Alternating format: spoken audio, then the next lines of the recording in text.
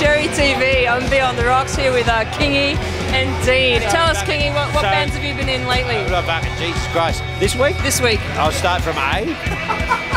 I'm doing a good. I'm doing a fundraiser for my good mate Angry Anderson, like uh, who's a, a political fundraiser. These two guys are from the Terraces. They are heading over to uh, Europe, I believe. What's going on? Who are you guys playing with?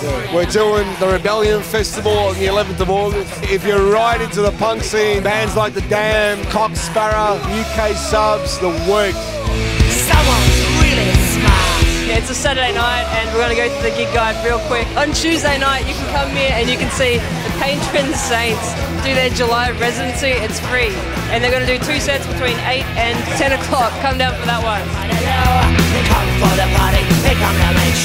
Wednesday nights, we've got the Deep End. Have you seen Yeah, they're real good. Yeah, they Real play, they play with it.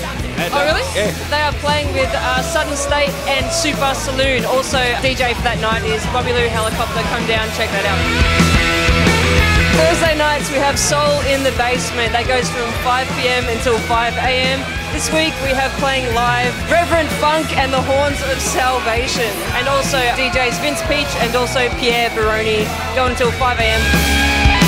Friday, Spencer P. Jones solo. Two free sets between 5.30 and 7.30. That's right. And then tonedeaf.com.au presents Fifth Friend EP, Nick Cave kind of indie vibe. Launch with Jack Jack Jack plus Russia Chicks. $13 from 8 p.m. Then $10 from 11 p.m. Mermaid until 5 a.m. Saturday night at Cherry, we have Andy Sickler's Dark Valley EP launch. Now, apparently, it's folk rock dressed up as hobos. Come down for that one.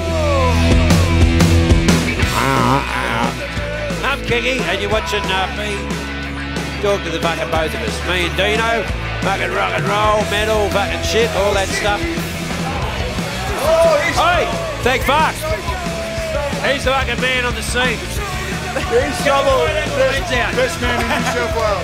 There you go, big night here Saturday night at Cherry Bar, ACDC Lane, Melbourne. Pretty much the best rock and roll bar in the world. I've been B On The Rocks. Thanks for watching.